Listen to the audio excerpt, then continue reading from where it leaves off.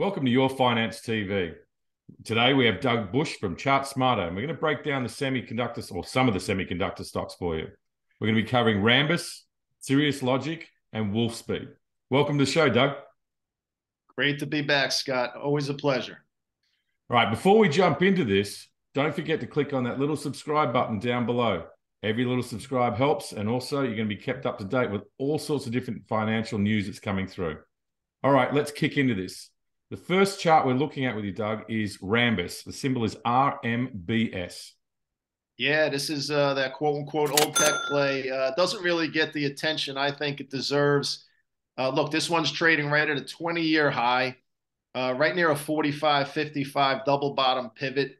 Uh, prior to its most recent earnings reaction, Scott, which fell fractionally seven in a row, were up very nicely. Um, the last six months, every time it fell below its 50 day moving average, which is sloping higher. It recaptured it very quickly. I think this one's a long term winner.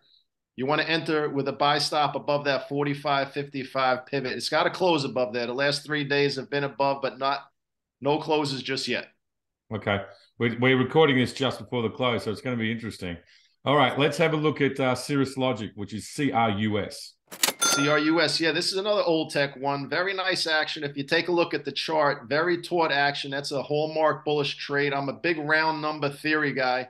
Uh, par is right where it's at, uh, where it found good support. The daily chart is right near a double bottom pivot of 105.87.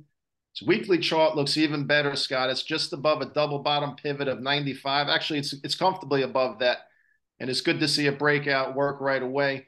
It's now bull flagging on that weekly chart. As you can see, a move above 107.50. That would be tomorrow. Close above that would carry a measured move to 140, Scott.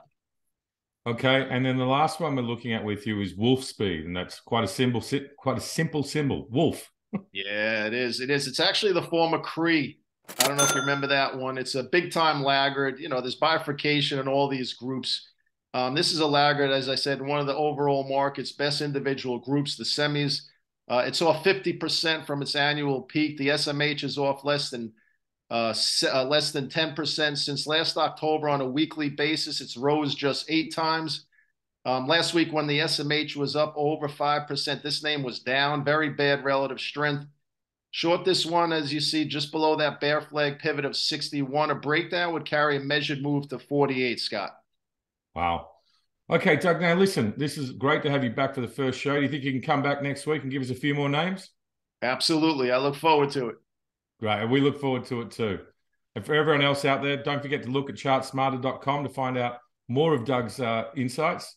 And until next time, good luck investing.